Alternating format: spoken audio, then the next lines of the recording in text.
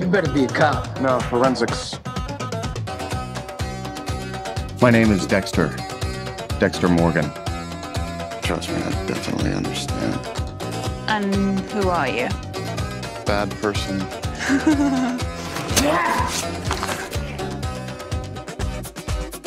See, I can't help myself either. This is not how it's supposed to be! Maybe this is exactly how it's supposed to be. Kyle Butler. Hey.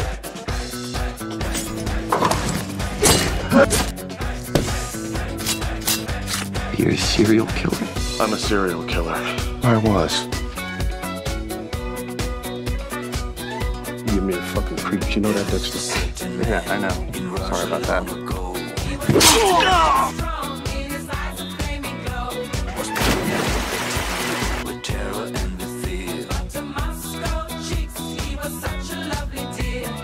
Let's face it, the world is going to be a better place without you.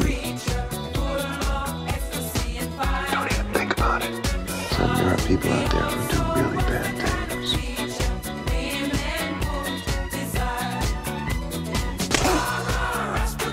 Break your fucking neck.